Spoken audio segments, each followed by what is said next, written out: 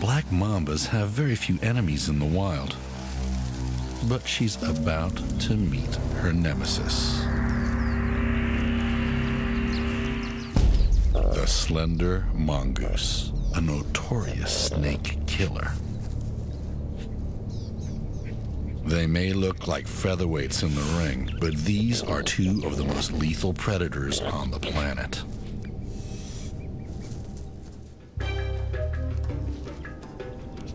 The mongoose has razor sharp teeth and a lightning speed.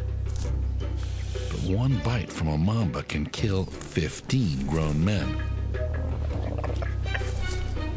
So imagine what it can do to a five pound mongoose. The mamba is lethal, but she's not tough. She relies on her venom to sedate her victims and immobilize their weapons. Here's the kicker. The mongoose has an antidote to her potion.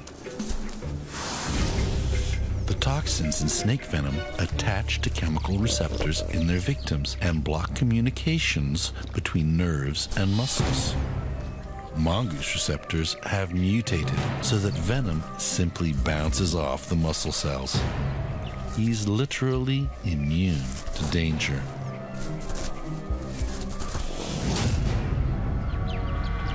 The mongoose MO is to dance circles around his prey until it's exhausted.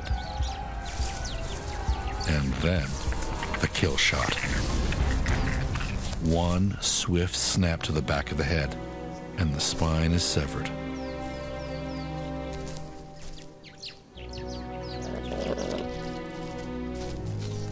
The snake's still alive, but paralyzed. Her muscles twitch, but her bite is gone. For the mongoose, the reward outweighs the risk. A seven foot snake is a hearty meal for a pint sized predator.